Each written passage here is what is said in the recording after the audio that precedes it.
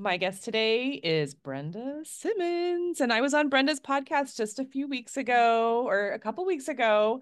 Um, Brenda, I'm so happy to have you on. I we we really hit it off and we had so much to talk about and I'm thrilled to to be able to continue that. So thank you so much for being here. How are you today? I'm so good. And I'm so happy to be here with you too, Amy. And again, I felt the same way. I, it, I just thought our conversation was so much fun. And I'm so excited that we get to continue it again today. Yay. Um, and so Brenda has a podcast and it is called Be You, Your Story, Your Purpose. And um, and she it's a newer podcast. How many episodes are you? Yeah. So I have just published my 21st episode. I started at the very beginning of October this year, and, and I'm loving 21. it. Yes, because I put out two a week, and um, so I've probably got another eight or so in the queue.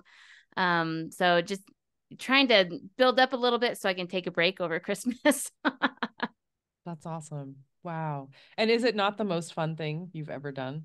Or maybe I not love ever it. done, but I love it so much. Yeah, I, I like yesterday I interviewed a lady from Vancouver. The other oh maybe a week or so ago, I interviewed another one in Australia, another one in um, England.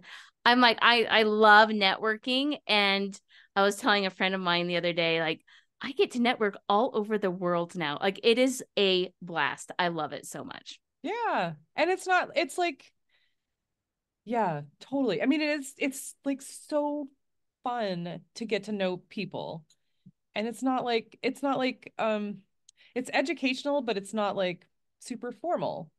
I just no. there's something about it that's just so energizing for me. And I I totally get that that you feel the same way. And it's it's amazing to me really the the everything that opens up just because of podcasting. Because when I know when I first started, I was like, I don't even want to push play like or record on this because I know it's not going to be good and I'm going to want to record it like 17 times and it's I'm still not going to be happy with it and he, now I'm just like whatever. record. Right. I have a mentor um, that said it's okay to first put out B B minus. Like shoot for that. You don't have to be perfect. It's just that you will be rewarded with your efforts and you're going to learn as you go and that's totally true. My first one I was like oh my gosh, this is like yeah. so bad. I mean, if you wait I, until you're ready and you're perfect, it's too late. Yeah. It's too late. Exactly. Yeah. Exactly. And so I've made a lot of revisions in just the couple months, three months that I've been doing it. And, um, but I think that learning process is part of the funness of it. Totally. Yeah. I mean, as you, as you feel more confident, as you talk to more people, you're like, oh, that totally works. Or that was, that was bad. Don't do that again, Amy um, right something like that. Yeah absolutely. Um and then and so be you your story your purpose like what tell us about that. So when i when i first decided i was going to do a podcast i seriously was like i don't know what to even do one on i just knew that i needed to right? And so i just did a lot of soul searching you know what what is something that i wish that i had had um, just along my own journey. And I decided that I wish somebody had helped me understand what the point of it all is. You know, what what is my purpose in the here and now? And so that's what I decided to do was to help people, help women to know that yeah, their purpose actually is in their own story. They don't have to go looking somewhere else. They don't have to be somebody else. They can be who they are and they can know that the purpose that they are like not just in the moment but grandiose, right? Their whole life. They can find that in their own story. They just have to look for it. Right. Absolutely. I mean, and it's so it's so cool to think that we are all like this puzzle piece in this this huge puzzle and if our puzzle piece is not in that puzzle it's not whole. And so right. We're all a part of it. Yeah. And everybody has value. And and that's what i love is is bringing that to life you know just to see okay in this person's corner of the world you know this is how they're making a difference and it's important. And even if that difference is only to themselves it's important Right. Absolutely. And I mean, everyone, and right. And it's all like who you're touching, you know? And like you said, even if it's just yourself, that's that's important too. But if there's like if you know, you can you can touch a hundred thousand people, that's awesome. But if it's just one person and you have this loyal person that's gonna follow you forever and just like be your your favorite you know your favorite person on social media or whatever. That's awesome. But the reality is it's never just you right? You know like you may think it's just you but have you ever heard of the butterfly effect? Mm. okay so the butterfly effect is it actually i can't even there's a book um written it's it is that the title of the book the butterfly effect but the idea is that you know even the flapping of a butterfly wings, you know, how gentle that is, creates a chain reaction that creates something bigger. And and that's how our lives are. Like we might think that, you know, we're small and insignificant, but the things that we do have a chain reaction and that we can we have the power of influencing and it it actually is very powerful I love it so much. And I think we were talking when when I was on your podcast about there are so many people that are like I I think it was you that they're like, "Oh, I only I only um talk to people who are CEOs or people that are yes. six figures or whatever." Yes. And I was just like, "I that's great. I you know there are so many there are so many people that are being missed with these great stories and these lives that are just like dying to be shared. Um right. And, and I'm it doesn't have to be big. It. Yeah. I loved I Amy, I loved so much that you came on my podcast and talked about making jam. I just thought that was so awesome. You know, you know, because it's it's like it's just life, right? And and everybody's story is different and you know what impacts them is different and um yeah what you make of it is inspiring. Right. Yeah. Uh and there yeah and there are so many people. Like I, I think i can't remember if i told you or not but i had a guest on my podcast who wanted to talk about you know in the sustainability field like she makes her own broth. Mm-hmm. and somebody might be like and but i mean if you think about broth i mean so she you know she's a vegetarian and she, when you're cutting your veggies you just put a bag of the scraps in your freezer and uh, so you just keep it in there. And then when you want to make broth you literally just take that out and you put it in a pot with water. It costs zero. So easy. It costs zero. And then if you buy it at the store you're getting these cartons that are like five dollars a piece. They're coated in what wax or plastic so you can't compost it, you can't recycle it, you literally have to throw it away. So it's going in the trash and it's adding to the landfill and it's not necessary because you can just use your scraps. Right.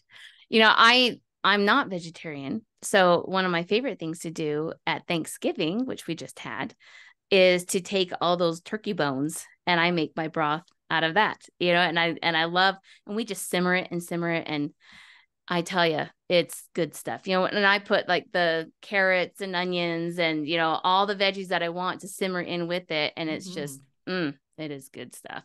Yeah, absolutely. But and the, the great thing about that is, excuse me, aside from it costing zero, uh, you know exactly what's in it. You know, there are no Amen. preservatives, there's no chemicals or any, you know, there's no there's no like plastic or anything coating it. You know exactly what's in it. Um, so anyway, I just I just thought that was awesome. And I love that she was so proud of that. And I yes.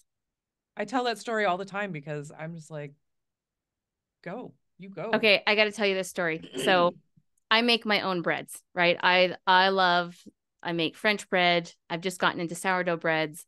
I do rolls. I do um I like to ground my own wheat and make whole wheat bread. So I I love it. It's totally my comfort food. Um, and I have a totally really hard mine too. Yes, especially when it comes right out of the oven. Like, oh right? oh my gosh, it's like the best stuff ever. but um, my husband bought some hot dog buns. Now, bread will sit out on my counter and it's good for about a week and then it starts going moldy. And I just know I actually will will cut like just a quarter or of a half a loaf because we don't go through it that fast, you know, and I just know that's you know, the rest of it it's in the freezer, you know, so I work on a little bit at a time. Um these hot dog buns sat in their oh. bag on the counter for 3 months and we're still good. It's disgusting. Like it on, and my husband ate it, and I was like, like I was gagging. I'm like, there is no way I would eat that because that is full of junk and so not good for you. You'd be so much better just slicing a piece of my good bread. right. When you you right, exactly. And when it's always so interesting to me when I read enriched flour yes. or enriched whatever. You're like, what are you enriched with? You know, right. vitamin D or well, they strip everything out. Yeah. Right. And then put it back in. So my favorite is the um I love the whole wheat bread. I love the freshness of it. I don't know. I don't know if there is a favorite. They're they're all good for different reasons, but mm-hmm. but yeah, I love the idea of taking the the kernels and grinding them up and making something really amazing out of it. Mm. Oh my gosh. I don't know how you find the time. especially with yeah. two podcasts a week. Oh my gosh. Yeah. Yeah. And working now, I, it's, well, part of it is I don't have to do it that often because my kids are grown and my husband doesn't eat bread that much. And so we just do it a little at a time. I mean, I just I don't need to do it that often because it lasts long a long time. So when I when I do a, a batch of whole wheat bread, I'm making five loaves at a time, you know, and so it just goes in the freezer. Right. And, you know, so it just lasts a while. Gotcha. So it's like once a month, maybe that you do yeah. a batch. Okay. Yeah. Yeah. I gotcha. And it's on a weekend. It is. It typically is like on a Sunday when I have time to to do it. So Okay. That works. I that thank you. You're I welcome. Feel, I feel better about that. okay. I want to make bread. Yeah. Well, anytime uh, you if you ever need some tips, I'm happy to do it. Oh, careful what you offer.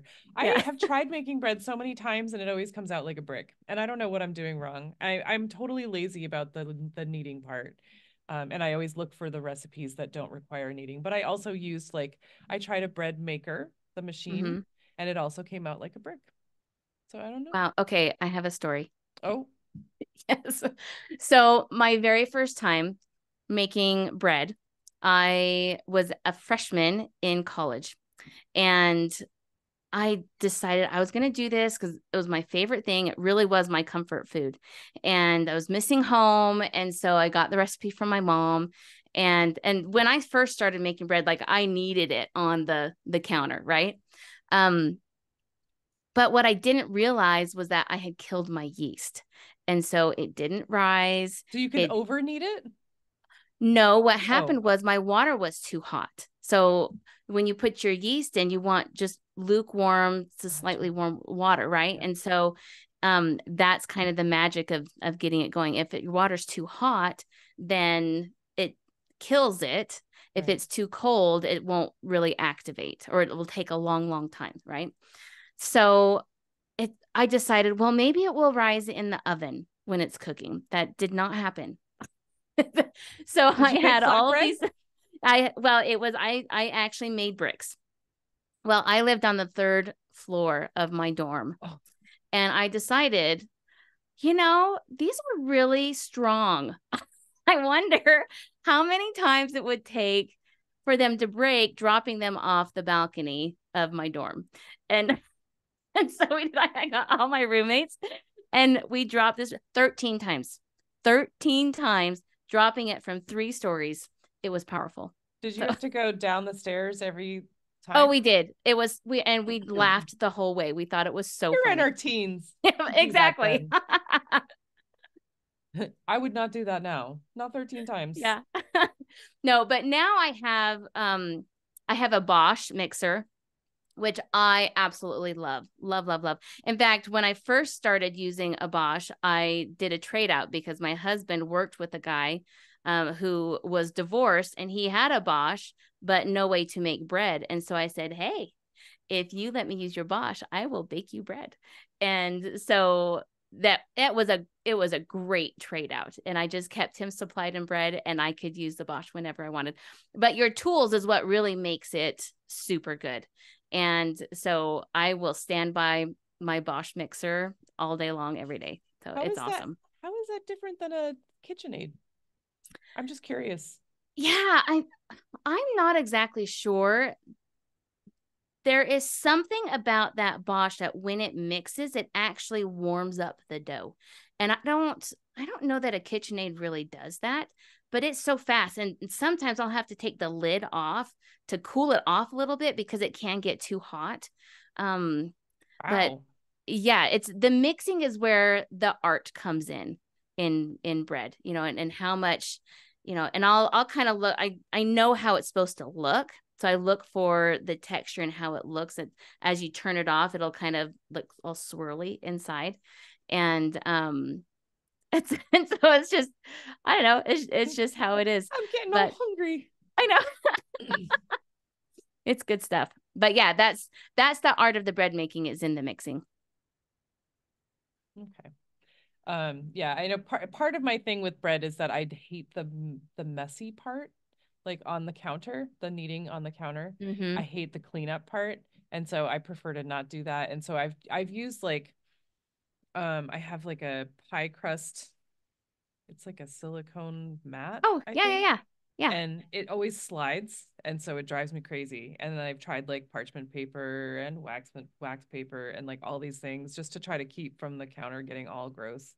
And nothing seems to work, and so I just have to make the counter gross and mm-hmm. it takes forever to clean and oh my goodness but um so i look for the no knead i look for the no knead recipes and they still come out like bricks doesn't matter what i do. Yeah. Um so i do It's- the i do the quick breads. Yeah. And I That the works too. muffins, and i do the too. brownies and the cookies. Yeah my my sourdough bread recipe doesn't you don't need to knead it. Well you still put it out on the counter. I've just got to where you know once i'm i always clean my counter really good. And then once i finish kneading it i just put a whole bunch of water and just let it soak and then i just take a scraper and scrape it off and it takes me like two minutes so that's a good But- tip yeah because i'm like trying to it's all gummy and i'm like yeah and then Yeah. this the the scrubber part of the sponge gets all full of oh blah. yeah that's gross Anyway, yeah, Well, I actually have a really funny works- story about um what I you go right ahead with yours, but I have a funny story too.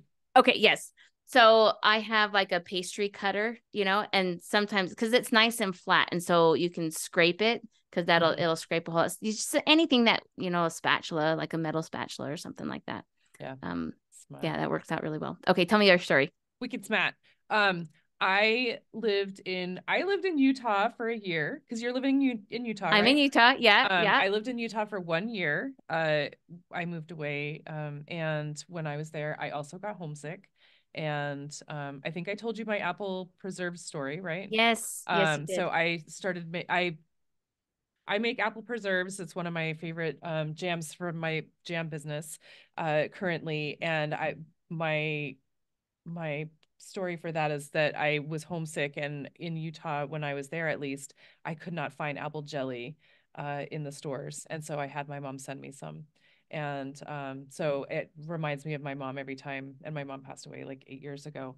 But um, so I think of my mom every time I make it and every time I have the apple preserves. But um, I also, uh, I had this craving when I was there for rice pudding, which I never, I ate it whenever I was with my grandmother, but I was like, meh, sure. But then like, I just had this craving for it when I was there. And so I I um had my mom also send me the recipe for that. And I made this recipe for rice pudding and oh my gosh. It was so amazing and it made so much. It was like a gallon of milk. you don't realize it. and then you have to stir it for like I I feel like it was like 4 hours because this was like Yeah. 30 years ago. But Yeah. um and I was a I've never made rice pudding. I like it. I, but yeah. I, mean, there are so many different ways that you can make it, but my grandmother's was like, you know, there's, there's, it's all love because you're standing in over hot milk for like hours stirring it so it doesn't scald. Um, Yeah. And so you know that there's love in that. Yeah. Because if you don't love sure. somebody, you would not doing that. Who would not do it? Yep. but um anyway, there was lots of rice pudding for everybody for days. yeah. Um but Can you that's my- freeze that? I probably Yeah. probably did I? Nope. it's just it's like that's all you eat, right? yeah. Well, I mean, shoot, I was 19 years old and um I didn't have lots of food. I right. I worked two part-time jobs at like four dollars an hour. Isn't that amazing? it was crazy. Um, and I ate pretzels because I worked at a pretzel store. so um yeah, I so I had I ate rice pudding. Uh but I had a- good. I had a friend who worked at a sandwich shop when I was in in college and she was totally on her own, made hardly anything and that's she lived off of leftover bread from the sandwich shop. Like she and she would come home with garbage bags full of I'm not even kidding, of like the long The roll the long rolled sandwich. Yeah, yeah. So I worked at a sandwich shop too did you in Utah. Yeah. what part of Utah did you live in? Um, I lived in Provo. I worked in Orem, Okay, what was the name of the sandwich shop? Blimpie, Okay. and I worked at the Gosh, they haven't been University around in a while. And I worked at Pretzel Time. Okay. What year that were was you an here? Awesome job. Uh, ninety three. I was here then too. Shut up. Yes. Yes. That's when, yeah, 90, fall of 92. I was a freshman. Yes. hmm So we were we were in the same city at the same time. oh my gosh. Yeah, Were you in Provo or Orem? I was in Provo. Crazy. Mhm. Oh my gosh. Yeah. Um, that is so cool. Uh, that was it was like the most fun year of my life. Um, but I was very poor. Yes. I did not have a car. I took the bus. I walked a mile both ways. Oh, I Um, had my bike and I biked everywhere. Everywhere. It was but you know, that's that's how it was. It is how it You was. know, I mean, and I it just it wasn't a- a big deal. I took a Greyhound bus three days from Maine to Utah to move there. And so I had like a suitcase with clothes. Right. That's what I had. No bike. That's taking a big leap, right? um but yeah i mean it was it was so fun and i had i saw the best concerts that year and so many fun movies anyway um sustainability Yes, um but you also make jams and jellies brenda I do. Yes, Um, I do. and you make freezer jams and jellies Yes, I do. which is very cool i do not make those because i don't have room in my freezer You know, for me, that is my grandma's story. So my grandma, um, both of my parents grew up on farms in Idaho. And um, my mom's parents sold theirs, but my dad's parents lived like my uncle still lives there, right? And it's all the farm still in our family. But going up to my grandma's house, and I mean, on a farm, you like the closest town is miles away, and there's nothing there because it's so tiny, right?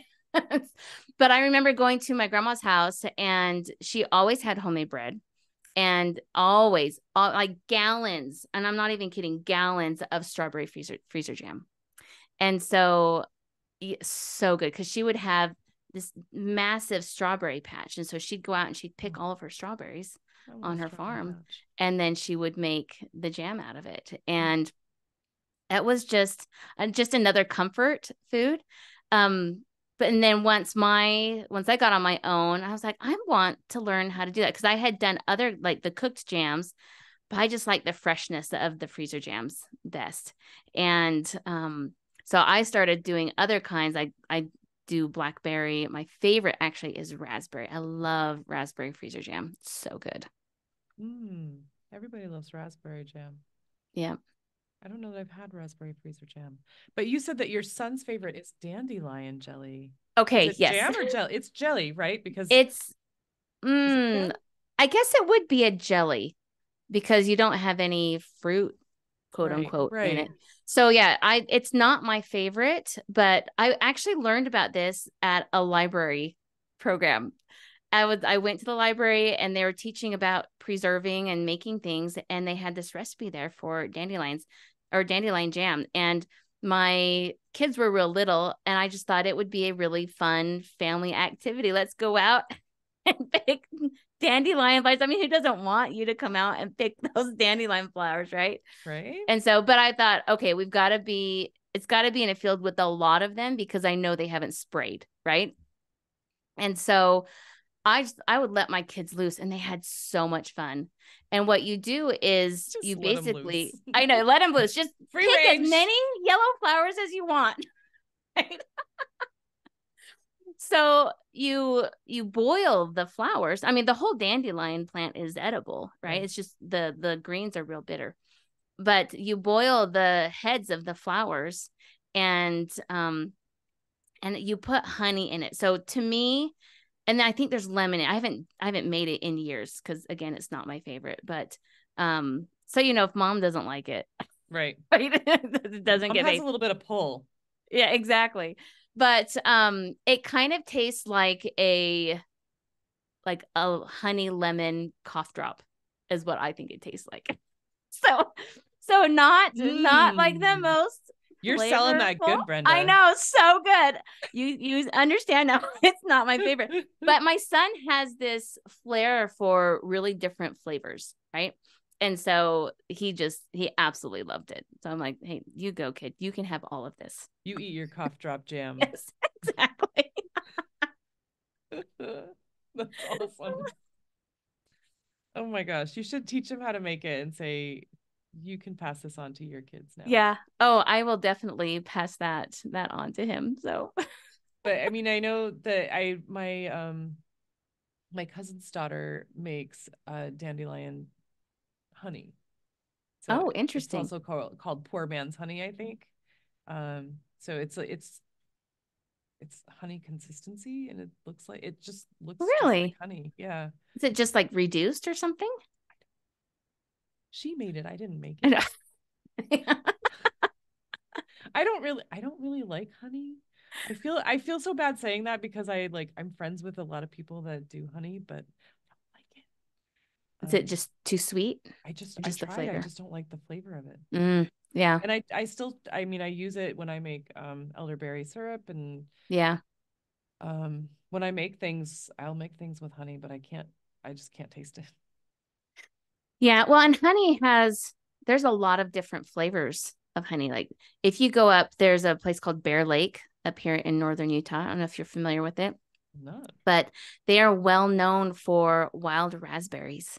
And so the honey there has a raspberry flavor to it. It's actually really, really good. Oh. Yes. I think they may even put like some raspberries in it, but I don't I don't know cuz it's red. So I they probably do, but it's good stuff. Mhm. Cool. um, and so let's see. So you are in Utah, but you li- you grew up in mm, Montana? Nope, Bay Area, California, in the middle of the city. Okay.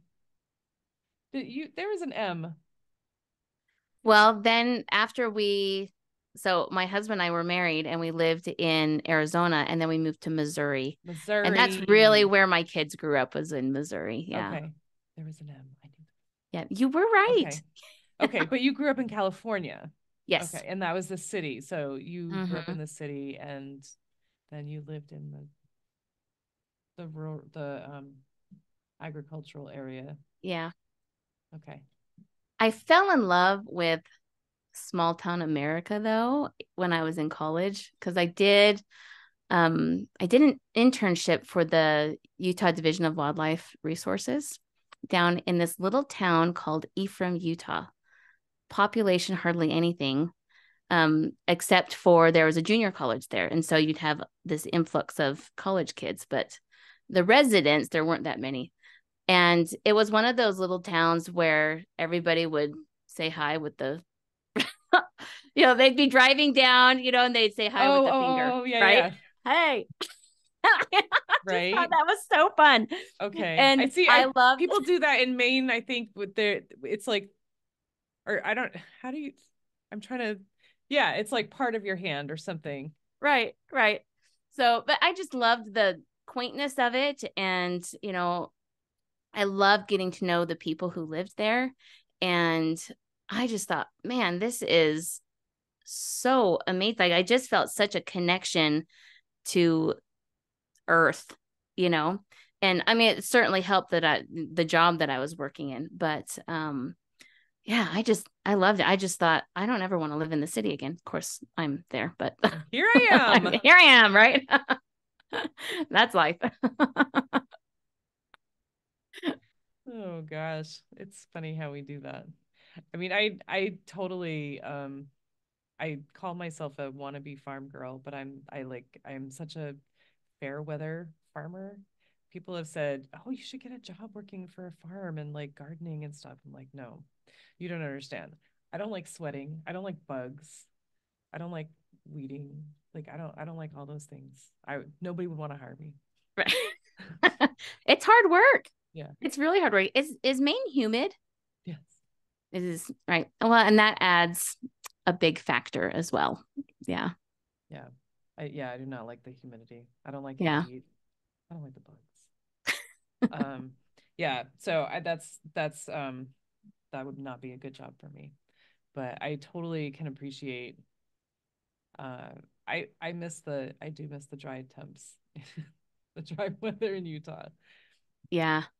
Yeah, having low humidity, like you don't know what that is like until you try it and it's pretty amazing i will have to say right. Um i'd love to hear more about that that internship though. That sounds really cool. Um, yeah so i i actually have a degree in wildlife. And um that was kind of a funny story. I grew up camping and my dad would take us on backpack trips and stuff like that. And when I was trying to figure out what I wanted to do with my life, I went to the Career Center and said, I cannot work at a desk. And so they gave me, I'm not kidding, like a three inch volume of jobs that are not desk like an jobs. encyclopedia right it, was literally like reading a um a dictionary and so I came to this one that said forestry, a person who takes care of the forest or whatever it said. And I thought that sounds like fun. I will do that. What degree requires the least amount of chemistry that I'm in? so that's that's how I decided my degree. I and love so, that. You're and so I practical. Went, I know, totally. Like I knew what I what I wanted, right? These are my boundaries, right? And um but part of that I did several internships. And so my first internship was working down in Ephraim for the Division of Wildlife Resources.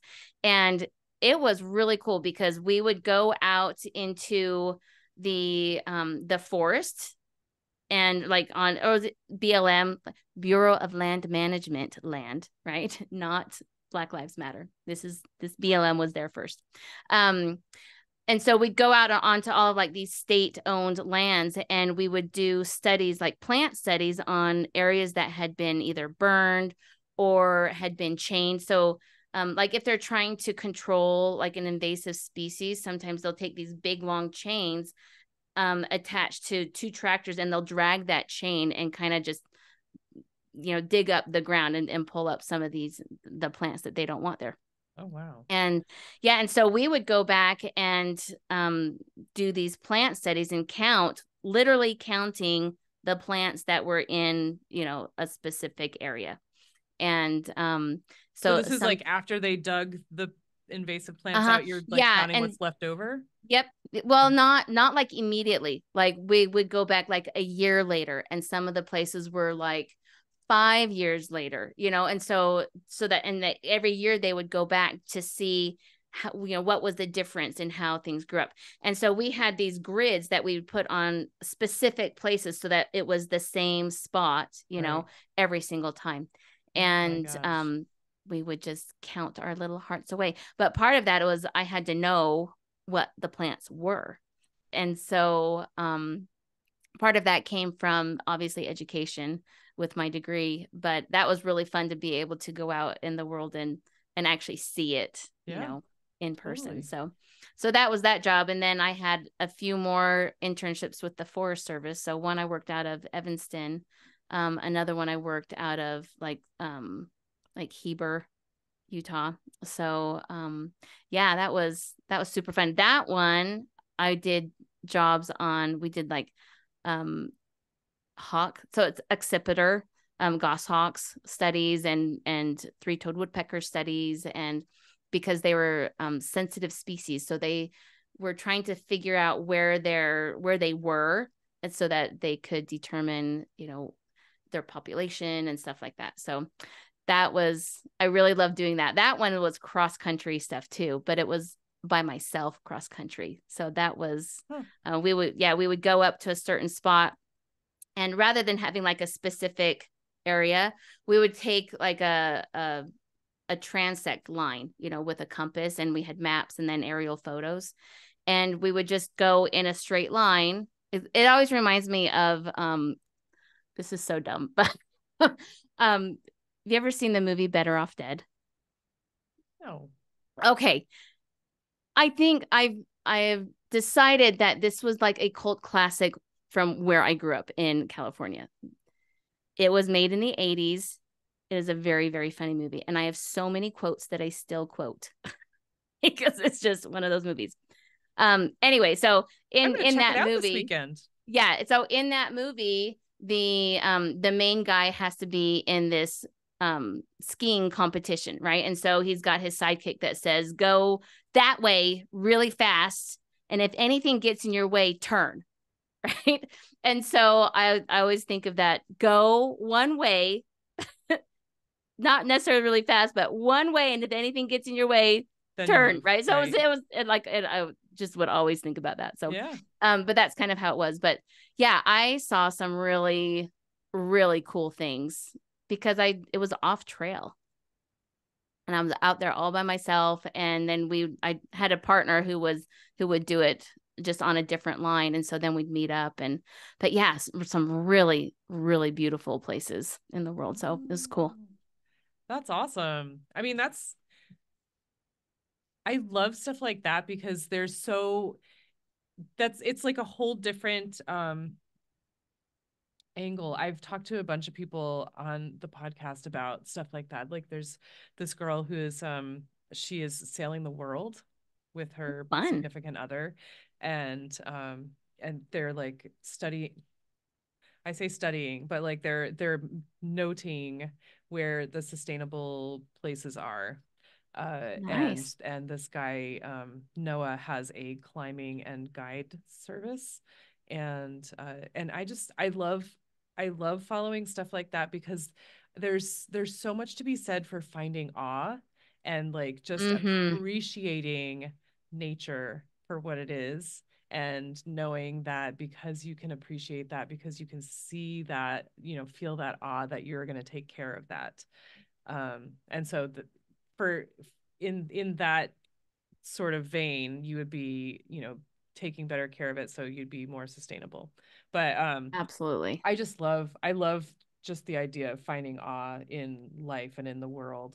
Um i think it's so important to be able to do that and not just be like mm, yeah there's some leaves oh, right well and I, I think it takes noticing right i'm you know i'm i mean things become so commonplace that we no longer quote unquote see them right I remember we moved here um, from Missouri, and you know, Missouri is rolling hills. You know, there's no mountains there. I mean, they say there are, but they they really don't. they don't compare to the Rockies. Know you know, and where I'm at. I, know, I think Maine is the same way. We're like, oh, mountains, like. Yeah, exactly. Have you so over here? Yeah. seen these mountains? These yeah. Mountains. Exactly. So when we moved here, I mean, the mountains where I live are just huge, you know, uh, you've lived here, so you know, like they're, it's different, you know?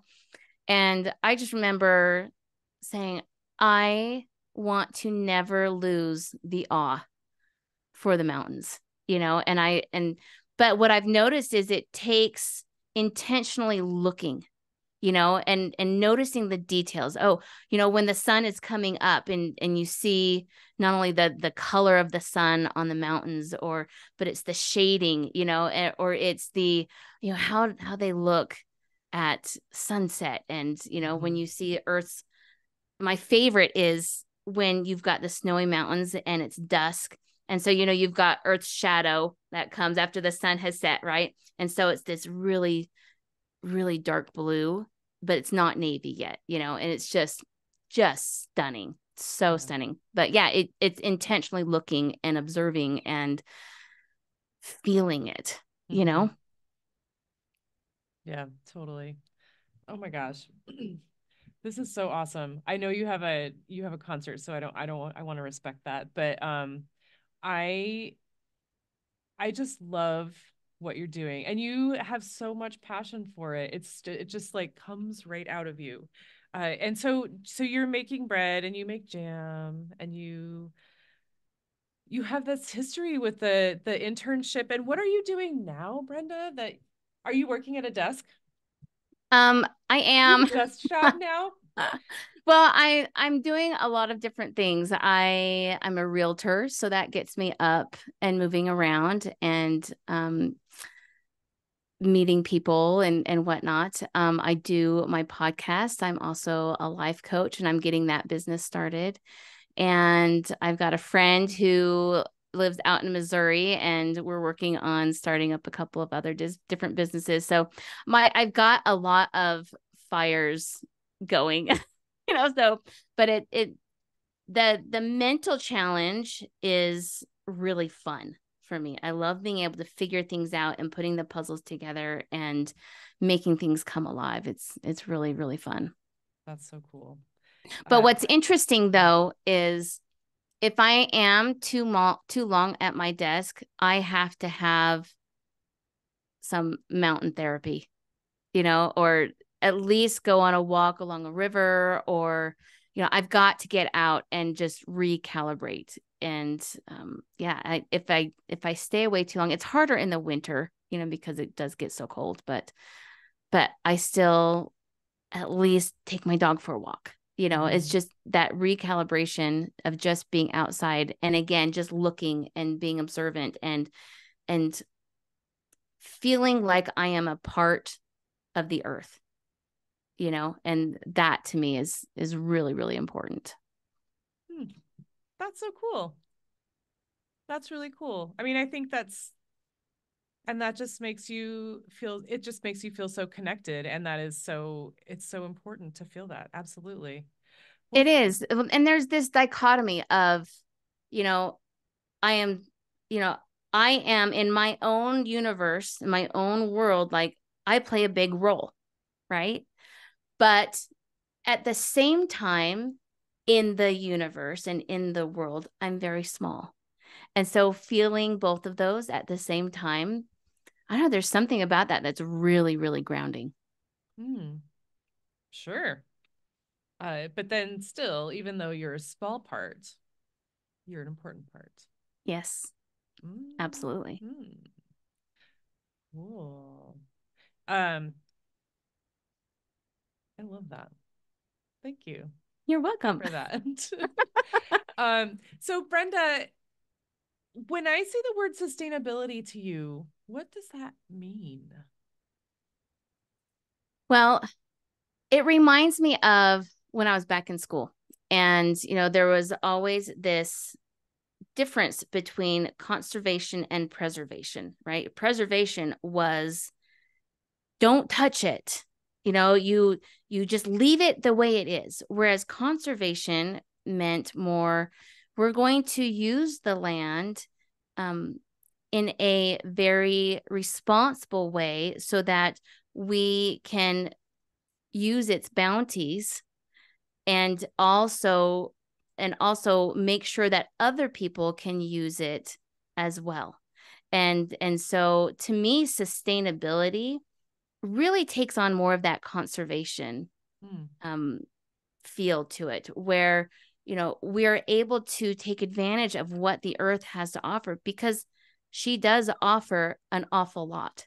And that is what it's there for, right? I'm not saying we should never preserve because I think there's a time and a place for that. But to sustain, you know, to have that sustainability means you are going to be using it, you know, mm-hmm. and and you are going to harvest the bounties so to speak you know not just in farming but in other places too. But then making sure that that is there for other people behind you. So i used to teach um, leave no trace to um, scouts and girl scouts and and different things like that. And the the principles of leave no trace are to make it look as if you were never even there right? And so i love that because it's it it again you it it makes you look at how you are impacting where you've been. And then taking note of okay how can i make sure that other people are able to use this land the way that i have been able to because i got it when it was really nice you know or improving it right. right, right. Yes. And I I totally I totally get that. And I always sort of have that that same mindset of like leave it better or, you know, at least as you found it. Absolutely. Yeah. Um and I don't know I don't know where that came from for myself, but I I can totally appreciate that. Like let someone else enjoy it as you did. Um, right. Right. That's really cool. Um, and I, I never really thought about that preservation versus conservation. I never considered that difference. That's really interesting. Yeah. They're both important eh, for different reasons. Yeah. Cool. Thanks for that. You're so and welcome. Then, and so um, I definitely want people to check out uh, the podcast. So um, be you, your story, your purpose. Check out uh, Brenda's podcast. And how else can people find you or follow you if they want to hear more from you? So I'm on Facebook primarily. I do hop on Instagram. Um, they can find me there. I'm at um, Brenda Beames Simmons. So B E A M E S um, is my maiden name. So um, you can find me there. I I also do links to because I'm just getting started on my podcast. I don't have all my social media stuff up for that yet. Um, so I do have a presence on social media with that, but it's more I'm just kind of dropping the link kind of a thing. Um, but yeah, you can always find me on my social media, or you can even email me at Brenda T Simmons at gmail.com.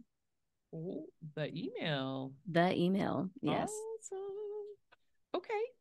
Very cool. Well, thank you so much, Brenda, for sharing that. I that's so it's so great. I just love it. I love hanging out with you. I know. I wish we lived closer. we'd we'd have a lot of fun. you know, Utah is Utah is on my bucket list. I know I've I lived there for but I you know, I was working part-time jobs and I had no money. I had no car. I had no bike. I right. You're like laser focused on surviving. Right. yeah. right. I didn't see much. But um yeah, I definitely want to get back there. So um you you might just see me. All right. All right. But, if you ever are here, give me a ring. Awesome. Okay. Thanks again. And uh, everyone, definitely check her podcast out. And um, we'll see you next time. Awesome. Thank you, Amy.